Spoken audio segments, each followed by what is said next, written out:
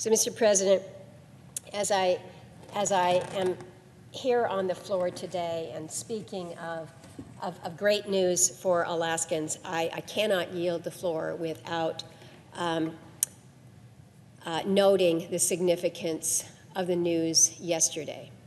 Yesterday, uh, a record of decision was announced by the Obama administration, announcing that, uh, that the Willow Project in the National Petroleum Reserve, Alaska, has, has been approved, and that ConocoPhillips, the producer, will be allowed to advance under uh, what is now a modified alternative that will allow for, for three pads of, of drilling activity in in the National Petroleum Reserve. This is significant for Alaska from a jobs perspective. This is going to be about 2,500 jobs to a state that desperately needs that.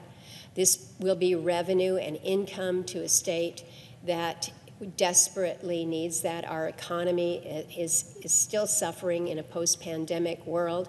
Our, our economy is still challenged in many, many ways. We're seeing a net out migration, unlike any state in the country. And, and, it's, and it is because it's directly tied to the state of our economy. And so we recognize that we are a resource based state. So to be able to access resources not only for the benefits of Alaskans, but for the benefit of the country. And, and in fairness, Mr. President, for the benefit of our friends and allies who look to us, who look to us and our resources um, to be able to help them as well. So I have been asked by many, what, what is the Willow Project? Well, the Willow Project is an oil project, yes, but Willow represents economic security. It represents energy security, and it represents national security. It was a pretty incredible effort that came together to advance the cause of this. This was not one oil company that is standing off in the corner saying we want to be allowed to, to proceed here. It was an extraordinary coalition of, of Alaska Native leaders and, and individuals. It was an extraordinary coalition of labor leaders, not only in the state, 100% of the labor unions in Alaska support advancing Willow, backed by their national unions back here because they know that these will be good paying jobs, these will be solid union jobs, these will be jobs for the future. It was backed by a, a, a coalition of, of industry leaders, um, uh, the university, unanimous, unanimous resolutions out of both houses of our state legislature. Think about that. We've got a pretty broad spectrum uh, across the political uh, spectrum uh, when it comes to, to our state legislators. So to know that from the southeast all the way to the north and, and the southwest, that Alaskans came together through their elected representatives to affirm their support of this project advancing was really quite remarkable. A united delegation, Senator Sullivan, Representative Peltola, myself, coming together to lead this effort, working with our governor. Um, it was a coalition that was remarkable and remarked upon, and, and rightly so, because there are oftentimes so many, so many matters that draw us apart. And there are there are opposing voices to this in Alaska. We understand that. But I think it was so important that the voices, the voices of Alaskans, particularly those who live and work and raise their families in the North Slope, that those voices were heard. And, and, and what they heard from those who are from the North Slope region are that this is not only jobs and economic opportunity, these are resources that will help us with, with our quality of life, help us um, be able to re resource and finance the search and rescue that goes on when somebody is, is, is gone missing on a, on a hunting trip for, for their subsistence purposes, to help with, with the community supports whether it's through the schools or public safety. The North Slope Borough is very unique in how they provide for all of their services for their residents in their eight communities across that huge borough that stretches all the way across the north, the, the entire north slope of the, of the state. And so for them, this is significant and real in a, in a meaningful way. It means everything to them in terms of, of health and wellness and life expectancy. As we have seen the benefits of the resources that come to these areas that flow from the oil, we have seen an absolute increase in life expectancy because of the quality of life that then can come with, with decent housing, with decent health care, with access to, to, to food and resources. What, we ha- what has been seen up north has been consequential. And so this, this was an issue that, when presented to, to the administration, when the Alaskan voices were allowed to be heard, the administration listened, and I thank them for that. I thank them for allowing allowing those voices to be heard. I also recognize that in addition to, to allowing Willow to, to advance, the administration is, is proposing to submit uh, rulemaking in, in, a, in a period of time, um, maybe within a matter of weeks, maybe a matter uh, of months, that would provide for special protections, further special protections within the NPRA. Um, there is much to be seen about what these entails, uh, what these protections will entail, whether it will allow for any level of, of activity, whether it be um, uh, crossings in any way, uh, pipeline or road in any way. Um, there is much to be learned. Uh, the administration has, has sent that signal that, um, that in order to, to advance the oil production opportunities within the Willow footprint, that vastly reduced footprint, uh, that they want to add additional protections in, in several different areas. We will evaluate that. We will take a look critically. There is a process that will follow. Uh, we understand that.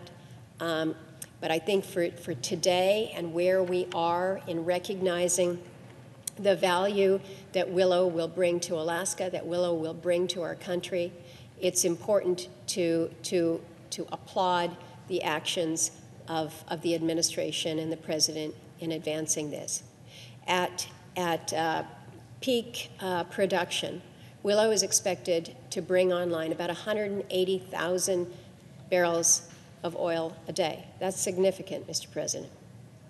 It's significant, and put it into context with, with uh, where, where uh, the United States has had to turn recently as we have, we have looked to, to meet demand here in this country. The ask the willingness to go to Venezuela, to lift sanctions, to ask for more production out of Venezuela. Venezuela will be, be providing us about 100,000 barrels a day. Think about where we would be if Alaska's Willow opportunity were already online. We would not have had to go to Maduro.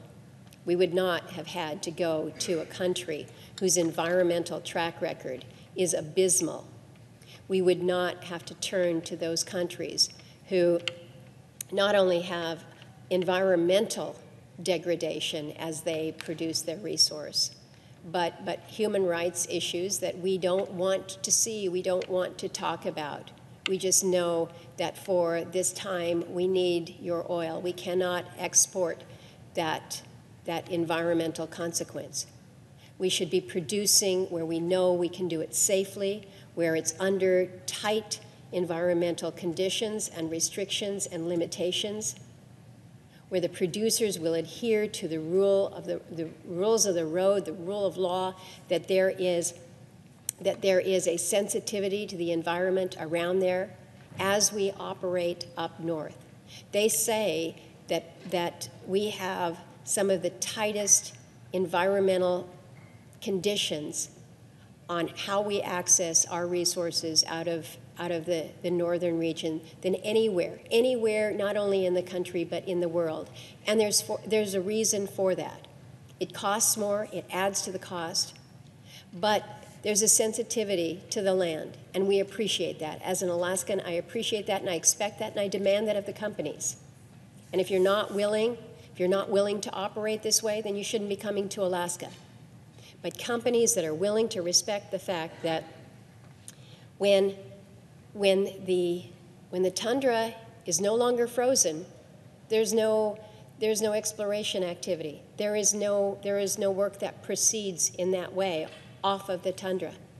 So in Alaska, in Alaska, our season, if you will, is 90 days. It's 90 days, and it's not 90 days in the good weather.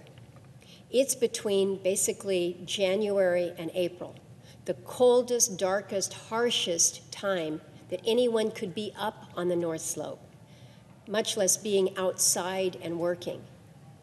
But that's how we do it because that's when the ground is frozen. That's when, when we have that license to operate, if you will, and we respect that. And it's not, it's not when the companies decide we're done with this aspect of the program. When, when things start to, to warm up and start to thaw, that's when you are gone. And you are gone because the state regulators and the federal regulators have said, clock's up. You don't have extra additional days because, because spring is coming. And so think about, think about that. Any other business in the world, can you think about having just a 90 day window of operation? We do a fair amount of that in Alaska because, quite honestly, our, our seafood industry is uh, certainly that way out in Bristol Bay. We do have a lot of seasonal activity, but think about what that means if you're trying to build a project and you have to stop. Stop after 90 days. Think about what it means to, to design a project around sensitive areas that may have. Um, uh, may have wildlife or, or, or, waterfowl that we need to be sensitive to. Well, that's what we do.